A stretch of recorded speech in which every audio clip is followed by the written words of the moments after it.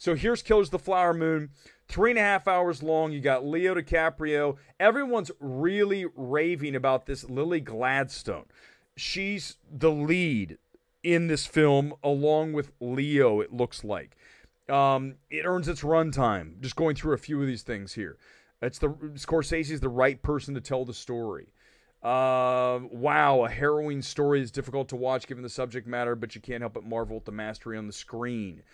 Uh, Matt Neglia, the man who loves likes for tweets.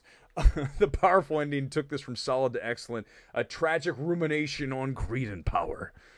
Matt delving into his New York Times film critic voice there. Uh, Yasmin, of the Flower Moon is an utterly exceptional and more gripping by the every minute and honest adaptation. Okay, I mean everything's really powerful. There's one review I saw that said it's it doesn't earn the runtime. It's slow. Listen, it's three and a half hours long, so I'm sure that is an issue. Enthralling. Um, Scorsese may have earned the right to tell a movie at three and a half hours. Doesn't make it the right decision. A compelling true crime story told from the okay. So there's there's uh, Peter Debruge saying that it's maybe a little long. David Ehrlich, I don't trust at all.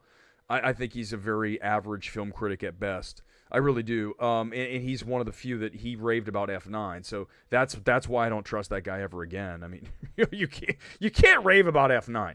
You, you just can't, and then ever be taken seriously in, in the history of film. You guys are all going to jump on me and say Ant Man, Ant Man. For those of you who watched Ant Man this weekend, you know it's not that bad. You watched it, it's not. It's just not. Um, there's another article I'm going to get to, but but in general, all this stuff is is really good. It's like at 98% on Rotten Tomatoes. No surprise. Uh, a rich, immersive masterclass that braids together the interests of his past products projects make that uh, from Total Film. Yeah, it's it's all positive. Listen, here's here's the challenge that's going to be. Okay, we need to get rid of the ad there. The challenge for Apple TV Plus and for Paramount um, is we just had this film debut and it's May. So now what you need to do, and you see studios do this very often when films debut at Cannes and even in, in Toronto and Venice when they're going to hit a few months later, you really need the film to pretty much go away. You want those initial reactions to come in, like we're seeing here with Killers of the Flower Moon, that are very high and very positive. Now, what you want to do is let the film fade into black, let it disappear for a few months. No one should be talking about Killers of the Flower Moon. In fact, if I'm Apple, I'm not screening this again until September.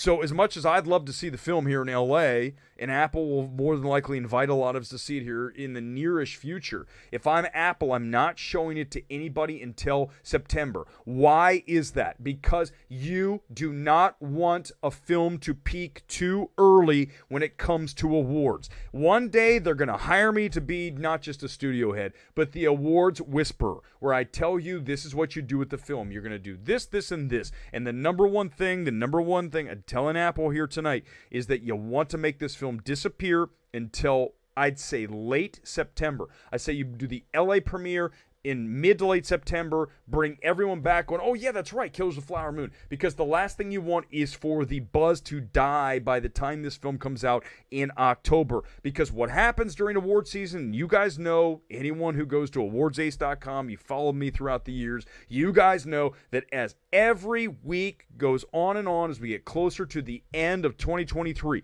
and that deadline of the release, at least in New York or LA, hits by January 1st, 2024. Those films that come in late often have a great advantage because they're fresh and people are like, this is the new, fresh, hot film. So, as such, you want to keep this film on ice until late September. That is my advice for Killers of the Flower Moon for Apple and Paramount, who's partnering in that um, release.